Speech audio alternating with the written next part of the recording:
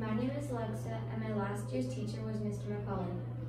My name's Taylor, and my last year's teacher was Mr. Kiapella. My favorite memory was when the principal would spray us with the hose on hot sunny days. My favorite memory of Mount Lehman was when we would go sledding down the big hill in winter. Two things I like about Reimer is all the different play areas that you can go to and all the different sports that you can join. My two favorite things I like about Reimer is the different encores and the soccer academy. My one piece of advice for grade five is that you should always make sure your Chromebook is charged.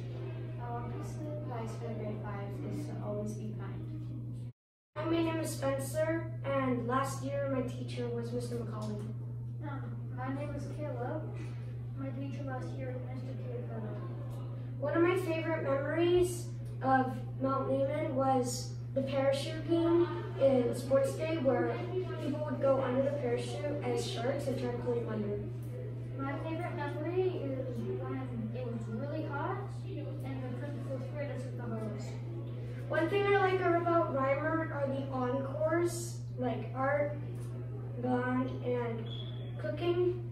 And another thing I like is like there's a bunch of academies that you can join, like the soccer academy. Um, things that I like about Reimer